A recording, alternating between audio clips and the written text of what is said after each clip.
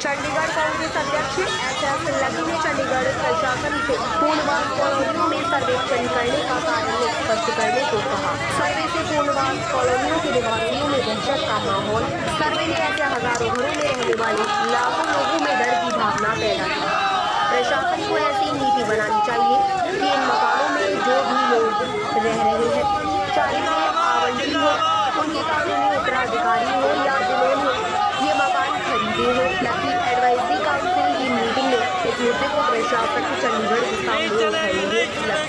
निवासियों को राहत नहीं दी गई, कांग्रेस पार्टी उनके समर्थन में आंदोलन शुरू करेगी आज सेक्टर 25 भास्कर कॉलोनी के अंदर चंडीगढ़ प्रशासन के कुछ अफसर वहाँ पर सर्वे करने के लिए आए थे। और पिछले दिनों अखबारों में भी आया था कि एक सर्वे पूरे शहर की कॉलोनियों में किया जाएगा, जहाँ पुनर्वास के तहत मकान मिले हुए हैं।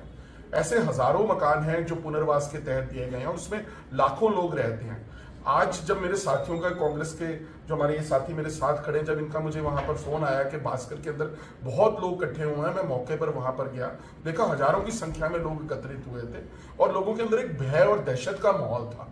लोग डर रहे थे कि ये सर्वे किस लिए किया जा रहा है। और जब प्रशासन के अफसरों से मैंने बात की तो उन्होंने कहा कि जी, एक पॉलिसी हम बनाना चाहते हैं, हम इसके ऊपर हम बात कर रहे हैं, हम एक सर्वे कर रहे हैं। मैंने कहा कि आप एक अभी अफसरों से बात करके इस सर्वे को फौरी तौर पर अभी टाल दिया जाए, क्योंकि कल एडवाइजरी काउंसिल की मीटिंग है और उसके अंदर कांग्रेस पार्टी की तरफ़ से मैं इस मुद्दे को जोरदार ढंग से उठाऊँगा कि जो ये लोग वहाँ पे कॉलोनी के अंदर रह रहे हैं, पुनर्वास स्कीम के तहत, इनको चाहे ये इसमें बहुत से ऐसे लोग हैं जिन्होंने अपने गरीबों ने अपने मकान भेज दिए, पर जिन्होंने खरीदे हैं, वो भी गरीब हैं। उन्होंने अपने गाड़ी खून पसीने की कमाई से ऐसे मकानों को खरीदा है। तो कांग्रेस पार्टी की ये मांग है कि जितने भी लोग ऐसे पुनर्वास कॉलोनियों के अंदर रहते हैं, ऐसे मकानों में रहते हैं, चाहे वो अलॉटी हो, चाहे उनके वो लीगल हेयर हो, चाहे वो लोगों ने मकान खरीदे हो, गरीब लोगों ने, उन सबको वन टाइम सेटलमेंट के तहत एक पॉलिसी बनाकर जो है, इन लोगों को मकान दे देने चाहिए। और ऐसे ये जो दहशत का माहौल पूरे शहर के अंदर बना है, सबसे पहले तो एडमिनिस्ट्रेशन को चाहिए कि एक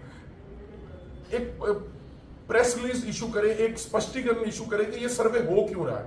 और जब ये स्पष्टीकरण हो जाए, उसके बाद अगर उनकी मंशा साफ़ है, अगर वो चाहते हैं कि लोगों का भला हो तो फिर उनको चाहिए कि ये स्पष्टीकरण देने के बाद वो पॉलिसी लेकर आए। और अगर वो नहीं लेकर आते तो कांग्रेस पार्टी को मजबूरन एक आंदोलन इन सब लोगों के हक के लिए छेड़ना पड़े। बट क्वेश्चन ये है कि यहाँ पे एक पैनिक क्रिएट हो रहा है कि ऐसे सर्वे होगा तो ये लोगों के कैंसिलेशन हो जाएगी जैसे सीलिंग पिछले दिनों में आप और मैं दो जगह सीलिंग यार एक सीलिंग में भी इकट्ठे हुए हैं। मेरी आपसे उस दिन बात हुई थी मुझे आपकी इंटेंशन बिल्कुल ठीक लगी। आपने यही सजेस्ट किया उसने कि आप अफसरों को कह के इसमें पॉलिसी बना दो। मैं भी उस बात को एग्री करता हूँ कि बिना पॉलिसी बने तो रिलीफ नहीं मिलेगा। अब क्वेश्चन ये है एडमिनिस्ट्रेशन ने एकदम इसका सर्विस स्टार्ट कर दिया। एक पैनिक क्रिएट हो गया पूरे शहर के अंदर। लोगों के मन में एक फीलिंग है कि ये बीजेपी जान के करा रही है, पहले एक सिचुएशन क्रिएट करती है, उसके बाद कहेंगे उद्योग को जी हमने रुकवा दिया।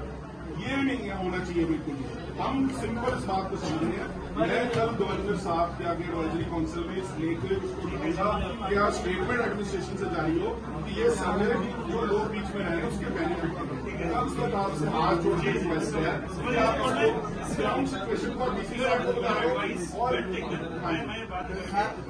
ताज़ा अपडेट्स व बड़ी खबरों के लिए सब्सक्राइब करें आज प्रकाश टीवी और बेल आइकन दबाना न भूलें।